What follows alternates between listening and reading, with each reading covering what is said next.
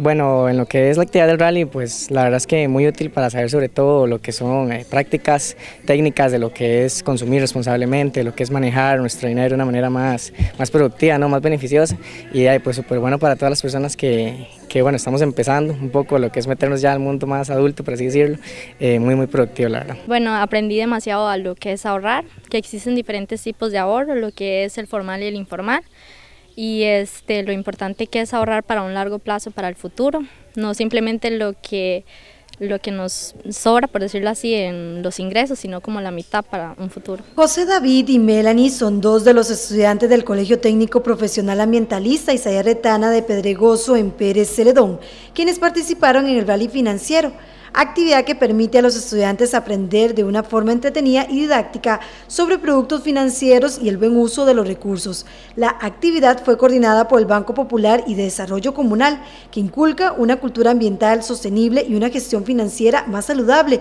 en la población joven por medio de una jornada de sostenibilidad que se llevó a cabo en esta institución.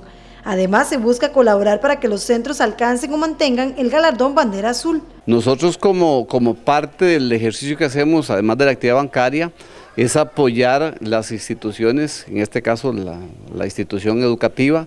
Hace ya casi un año que firmamos un convenio con el Ministerio de Educación para trabajar todo el tema de educación financiera. A la par de esto, nosotros dentro del ejercicio que hacemos tenemos como buscando un equilibrio. La parte financiera, que es lo que hacemos todos los días, la parte social y la parte ambiental.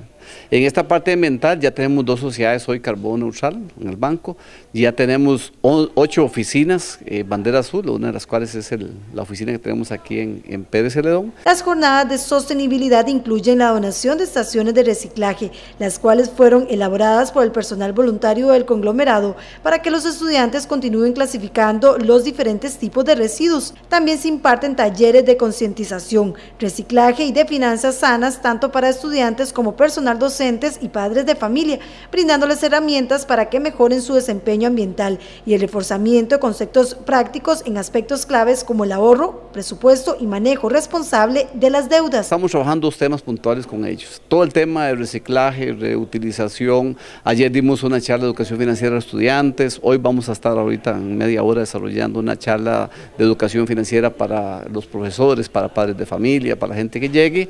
Y a la par trabajamos con todos los muchachos en la mañana mañana en un rally financiero, que es como hacer competencias, pero con temas de eh, educación financiera, ahorro, manejo de préstamos, responsabilidad. Vamos a estar trabajando en un tema de siembra de árboles.